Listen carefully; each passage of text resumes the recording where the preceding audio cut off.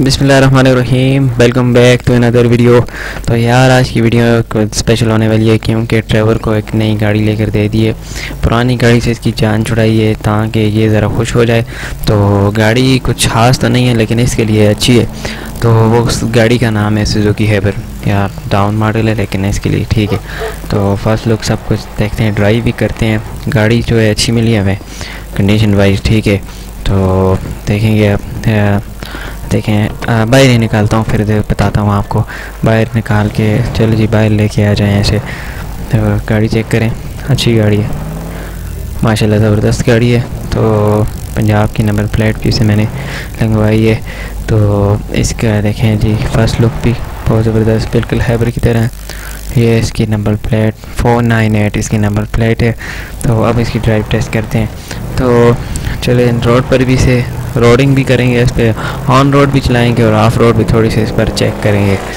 तो चलते हैं, निकलते हैं। तो राइट या लेफ़्ट लेफ़्ट ही चले जाते हैं। आगे सब इसकी चेक करेंगे। ड्राइवर साहब, लगता है कुछ गाड़ी अच्छी है। चलने में भी ज़बरदस्त है। तो गाड़ी अच्छी है स्मूथली ड्राइविंग इस पर हो सकती हो सकती नहीं है, बल्कि हो रही है। मज़ा आ रहा है तो काफ़ी अच्छा मॉड है। वैसे क्या होता है ना, इसमें पास बता आप मॉड इंस्टॉल करते हो ना तो मॉड काम होता है। तो उस वजह से जो है ना तो वो मॉड आपको तंग करता है।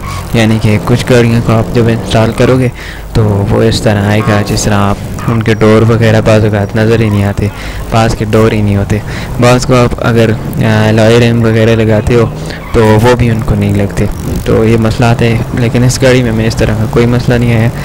तो फुल मॉडिफाई भी करवाई है, क्योंकि ओरिजिनल कंडीशन इसकी, इतनी अच्छी नहीं थी।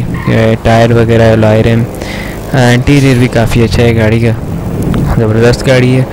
तो लॉय रैम वगैरह भी इसके लगवाए हैं। कलर इसका यही था।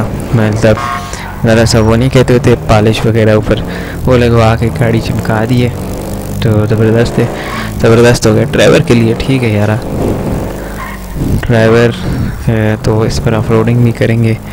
मुझे गाड़ी ज़रा पसंद आई है तो लगती इसका जो है ना, फ्रंट बिल्कुल ही हैबर की तरह है, लेकिन बैक जो है वो हैबर से थोड़ा बहुत मिलता है।